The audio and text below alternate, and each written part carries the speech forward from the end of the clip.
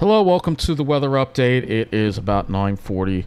It is September 11th, 2022, and yes, of course, a very sad, somber day. Remembering what happened um, back in, you know, I, it's still it's still very sad, uh, and the weather kind of fit the mood uh, for this somber day. Just a lot of light rain, a gray day, um, not a lot of rainfall, but uh, just a gray day, plenty of clouds, pretty much the whole day uh, and you can see uh, pretty much stuck in the clouds. You can see some heavier activity that's popped up off the Delmarva, but that's we're not going to see that. We're mainly seeing this light rain activity, which is what we're seeing over our area. If you go ahead and look at the radar, you'll see again uh, that we have this light rain.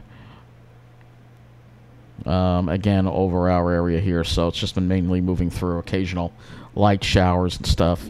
Uh, if we look at the underground map, uh, you'll see here, uh, we'll look at the precipitation. It's also very cool out.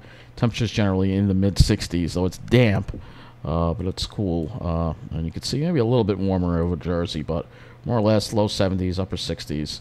Uh, it is damp out there. Dew points generally in the mid 60s, and close to 70 in New Jersey, so a little more, a little more humid there. Let's take a look at the rainfall. Um, it's really not a lot. Like I said, it's just been a light rain, just enough to make it gray and miserable. We're not really putting, not really alleviating the drought that much at all. Uh, not even a quarter of an inch, just a 0.01, barely anything uh, from this. Um, and we'll see if they did any better in New Jersey. Um, eh, not really. Some areas, looks like in central Jersey, got into some heavy, heavier rain, maybe a half an inch there. But other than that, still very, very dry. Um, and let's now go and look at the weather map for the country, and you'll see here. Again, it looks like the heat wave out west has been alleviated a little bit, and that's because of the, some of that moisture from Kay, which, believe it or not, has made it up a little further. If we look at the radar and pull this out, uh, you can see uh, there's been a few showers here. Well, I don't really see that much. what we could do, actually, let me go this. We could actually take a look at the rainfall in California. Let's do that. I'll move this all the way over to California and show you the rainfall. So they've gotten a little more rainfall, a little bit, a little more moisture in the air. I don't really see a whole lot of rain actually here, but if you look at the dew points uh, and the temperatures, they are a little hot, uh, cooler. Uh, they've cooled off a little bit compared to the way it's been, so it's definitely helped a lot. Uh, more of that onshore flow uh, that uh, that is helping the situation a little bit. Um, so let's go take a look at the weather map here on this. And if we go and we look again, uh, let's go out west and take a look and see what's going on out there right now. Um, because they still have a lot of fires going. You'll do the Pacific Coast. That's fine.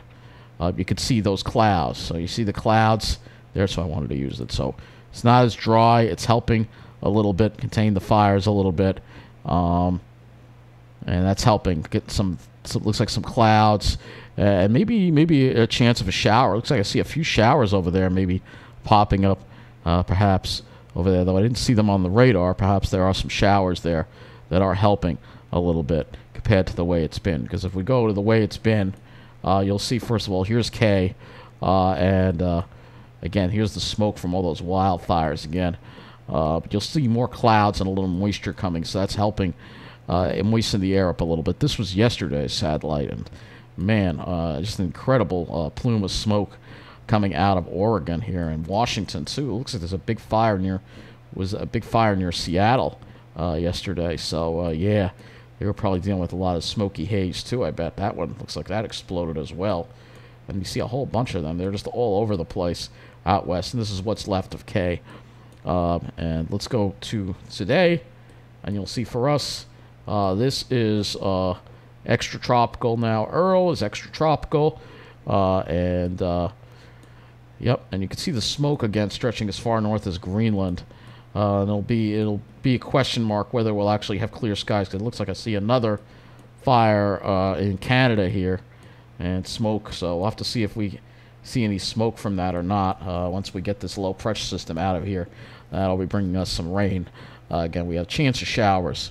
Um, so uh, let's go to the back to this again, uh, and uh, we will go into our area and take a look at our conditions again out there. You can see generally 64, dew point 64. And it's been like that pretty much most of the day. We'll go and take a look and see what the day was like here at Islip. So 67 with the dew point, just a gray, gloomy day, fitting for the day that it was. And you can see it was a little warmer earlier. I should get close to 80. Actually, I guess the sun was trying to come out a little bit at times, I guess, to warm it up a little bit. But then, if you look at the well, that's why it was warmer. See, we had more of a westerly flow, and the winds became more easterly and northerly, then the temperatures dropped. Uh, and that's what brought in its drizzle and light rain and, you know, kind of depressing, miserable conditions across our area. Uh, we will take a look at what the highs were today. Uh, and you'll see those highs were all set earlier on in the day, probably. Again, so got in the upper 70s generally across the area. Um, and the other thing I want to just do, we're going to push this back to here. And I want to go back and look at what's going on in, in this area here where Earl is because it looks like they're getting some pretty strong winds uh, from the remnants of Earl here. Look at that. Wind gusts up to 51 here in Newfoundland here. So they're getting some pretty strong winds here uh, in these areas here. St. John's as well. Some gusts up to 24. So they're getting some strong winds. Um, probably not much rain out of this. It's probably just the wind aspect of it. Uh, we can take a look and see if they've gotten any rain. I don't see any reports for any rain here. I doubt it. Uh, you can see it's been pretty strong, the winds. And we can also look at some of the wave reports, too, as well, uh, from Earl as well. Let's see if we can get a buoy here. This looks like a buoy. Let's see if it's got some wave reports. Um, let's see. Uh, it does not have any wave reports.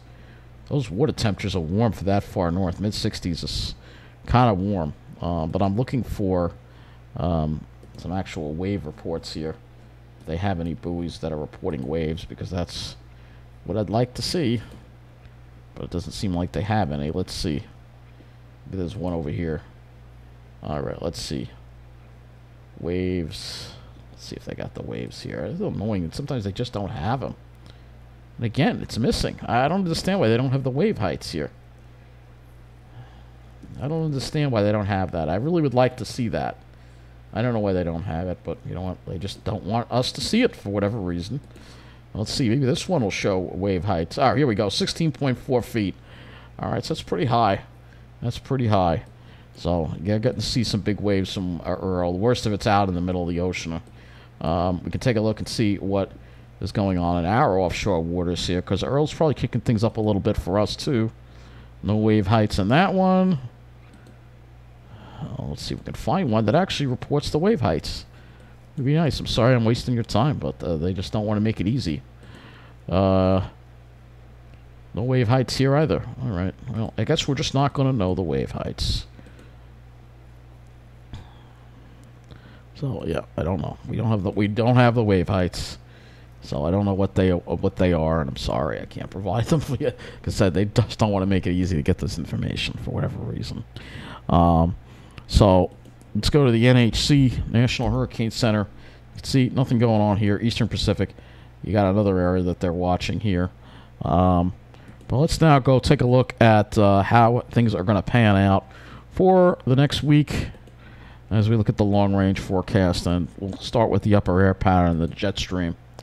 And uh, you'll see here again, the jet stream remains to be kind of a mess here. Um, you can see uh, there's like a cutoff flow. That's what's going to bring us that kind of chance of some showers for tomorrow. It's going to be more over in the morning. We'll take a look at this morning, and uh, then in the uh, I think Tuesday morning we'd have another chance. But then we have this uh, weak trough coming in. You can see again the jet stream is just completely dysfunctional here. Um, start to have some bigger troughs toward the end of the period, which would bring in some more cool downs. But I mean, very dysfunctional looking jet stream. Um, and if we go to the upper air height anomaly, uh, you will see here again, uh, there's that cutoff, all right, that moves away, and then we get to see some ridging again. Uh, and then as we get toward the end of parts of the month, maybe some bigger troughs can come down and bring down some cooler air masses. But when we look at things like this, you know what this all pans out, and it means we're going to have see probably temperatures above normal once again. So uh, going into your Monday tomorrow. See, we'll be above normal. Going to be above normal Tuesday. Uh, to our west, it's near normal to below normal, above normal Wednesday. Even behind this so-called front uh, Thursday, we'll finally knock it down to near normal Thursday and Friday uh, before warming up again for the weekend. And you'll see some really major warmth there. Looks like affecting the Midwest, and some of that might spill into our area. And then maybe we'll get some below normal temperatures as we head to the later part of the month. Of course, that is a long way away. Uh, so let's go now to the surface map on the GFS, which is what we're looking at, of course. Uh, and you'll see here, here's that low, uh, that cutoff low. So we had brings us a chance of precipitation. Clears on out of here later Tuesday, and then Wednesday, Thursday, Friday, got high pressure and we're dry, and we will be dry for a while until uh, the next chance of rain, maybe as we get toward the later part of the month with that trough. So yeah, it's going to stay on the dry side. You know, we do have some rain chances. Uh, so let's go take a closer look at our area here, and uh, we'll uh, go to the HRRR model. And so uh, here we are uh, for uh, the overnight. You'll see a couple of showers, and it looks like it's popping up some heavier showers and maybe even some thunderstorms. Oh, that would be so great if that would go right over the Pine Barrens. That would be awesome. That would be absolutely awesome if we could get some de decent downpours out there. That would be great. Uh, then after that, though, the rest of the day is dry. Uh, and then we have the next chances with the next little wave coming through here overnight, later Tuesday night into uh, later Monday night to Tuesday morning. Could be some showers and thunderstorms, and then maybe a slight chance in the afternoon on Tuesday, later on Tuesday. But then after that, that's all out of here. Um, so let's go take a look at what our dew points are at the surface and their wind flow. Uh, so you get like you have the kind of air mass we are in, and you can see southerly flow uh, tomorrow, and then becomes actually northwesterly for a little bit uh, before becoming southerly again. Um, so that could heat things up, perhaps, especially if the sun comes out, and there's some models that indicate that. Um, that might help add to some instability. But either way, you know it's going to be humid. Uh, and Tuesday, we start off with humid conditions. You can see southerly winds. And then as we get toward later in the day, especially toward the evening, the winds go westerly, and that's going to bring in the drier air. Uh, so now let's look at the temperatures. And yes, we will look at the rainfall as well. So we're looking at the temperatures tomorrow.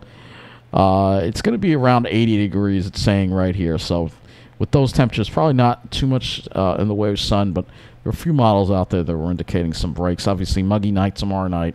And then Tuesday, it will be in the mid 70s. And if we want to go further than that, then we would need to look at the GFS. But let's go look at the total accumulated precip here. And yeah, look at this. I like this because this is showing over two inches over Suffolk County. That would be absolutely awesome for the Pine Barrens uh, if we could if we could get that to happen. Uh, because as we know, it's been very very dry out there, and that's something that I've been very concerned about. Um, uh, the dryness continuing, and it's you know the pines are tough, but this this drought is even testing them. Uh, and, you know, New Jersey's been a little better off in regards with the rainfall. Uh, of course, this is just one model, the HRRR. Uh, there are other models we could use to take a look at the rainfall, and I will do that as well. This is the FV3. Uh, I'd have to use the older run of this. This is the higher resolution GFS, and you can see doesn't it it does keep it, it has the rain, heavier rain further south, um, so it's kind of it, it's got a little bit of a different look to it uh, though the timings are kind of similar, uh, just depending on where these showers and thunderstorms form. Uh, and if we were to look at the total accumulated precipitation on here, you'll see maybe a few areas of Suffolk County get that one to two inches, but most of us kind of don't. All right. Uh, then there's the NAM, three kilometer, which we can also use. And again, I don't have enough of the zero Z run of that, uh, but we can run this through, and you can see the NAM's not really too impressive right there. So let me go back to let me go to the GFS now, and we will go and look at our dew points and wind flow. So as we get beyond Tuesday, uh, you'll see that westerly wind coming in, northwesterly winds, much lower dew points on Wednesday, much more comfortable. Um, and then we have another front that comes through on Thursday. That's going to shift the winds a little more to the north, drop the temperatures and the dew points. Uh, uh, that that will bring us some nice weather for Long Island. And then as we head toward the weekend, you'll see the southwesterly flow set up, bringing a return to some warmer and more humid conditions. Uh, let's look at the temperatures now. Uh, so temperatures uh, as we head into this is the GFS, a little warmer uh, for Tuesday than the HRRR. So GFS gets us uh, closer to 80 degrees, perhaps, or maybe even above that on Tuesday. Uh, and then for Wednesday, we'll have highs in the upper 70s to around 80, which is still above normal. But here we go. It drops down Thursday. We got mid 70s. It's going to be much more. It's going to be more comfortable on Thursday. Friday too. Also mid 70s on Long Island. Nova Jersey could be a little starting to warm up already, closer to 80. And then for the weekend, Saturday and Sunday, you could see we are back in the mid 80s again. Uh, but then you can see it looks, looks like a backdoor front trying to set up next Sunday. Uh, that's I mean we can go a little further here into the long range show you uh, that we still have above normal temperatures and we have to wait to the end of the period to actually start seeing some below normal temperatures. Um, so let's go look at the skies next, obviously, um, and this is the skies. Obviously tomorrow you can see it could be some breaks. All right, uh, for Tuesday starting off the clouds, maybe a little more sun in the afternoon pe- peeking through. Uh, Wednesday could be a pretty sunny day. Uh, Thursday should be a very nice day. Uh, and then Friday, we might have a little more in the way of high clouds. Of course, the smoke, well, that's a wild card. We just can't tell yet. But it looks like Friday would be sunny as well. And then Saturday, you start seeing some of those clouds. Pa- looks like that system passing to the south could throw some clouds and maybe some clouds around on Sunday. Of course, this is the GFS. It's a lower resolution cloud model. Um, I could use the um, FV3, uh, which is the high resolution model with this. And you can see again, there's some breaks tomorrow that could pop up. Uh, Tuesday, more likely to see uh, breaks of sunshine toward the uh, later in the afternoon. Uh, let's go look at the RGEM next.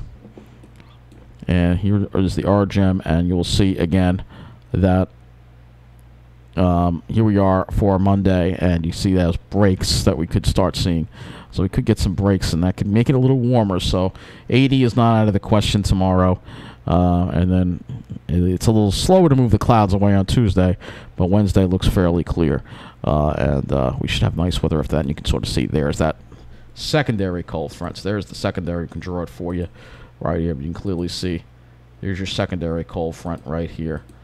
Um, that would come through, and this uh, may just generate some clouds. I don't think it would uh, bring any chances for rain. Um, but yeah, uh, so let's go take a look now. Now we're done with all that. Let's go to the uh, Sky model, and we're just going to use this to look at the CAPE and the thunderstorm threat uh, as we head into the overnight hours. So let's uh, go to. I don't think there'll be any severe weather uh, chances, um, but uh, again, those some of those showers look pretty heavy. So um, probably not severe severe conditions, but this tomorrow there's some over us. Uh, you know, it's mostly off to the west. But again, if those breaks come through and it's humid, uh, you never you never know. You never know. Well, we will go to the SPC and see. Here's Tuesday.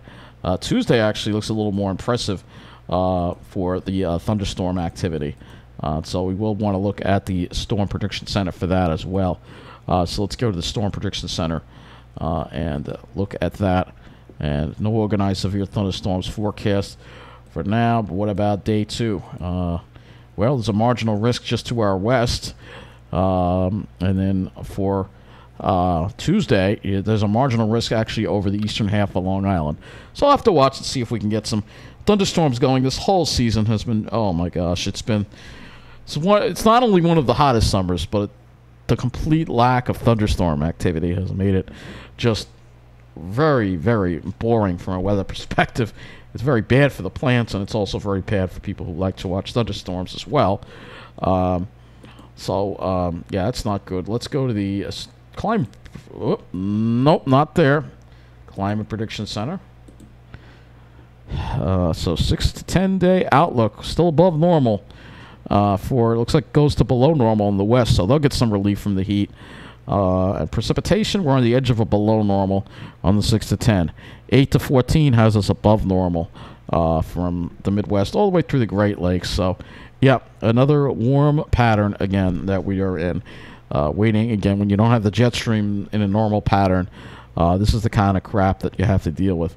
Uh, it's, uh, it's it's all very messed up as you see. You can tell even by looking at this. And I don't know if I pointed this out in the last weather update, and I meant to. Uh, but there's just been a ton of smoke over South America. I'm sure you've noticed this. I don't know what it's coming from. I don't know if I brought this up already, but it's just a ton of smoke. It's like they have fires going there or something. Uh, I've heard that they actually try to burn the forest on purpose, which is horrible, and they should not be allowed to do that at all. Um, but anyway, this is today's uh, high resolution satellite. And you can see we may still not be out of the woods with the smoke. You can see there's some wildfire smoke there that might wind up making its way toward us and affecting us on one of those days that was supposed to be nice and clear. but We'll have to see. Maybe we won't see it. It's very hard to predict. It's out of range right now for the uh, HRRR uh, vertically integrated smoke uh, right now. But at least they're getting a little relief from the heat out west, and maybe hopefully get these fires under control because uh, it's just been unbelievable what's been going on out there. It's uh, another sign of the real deep, deep, deep mess that we're in. Uh, but anyway, uh, that's going to wrap up this weather update. Have a good night.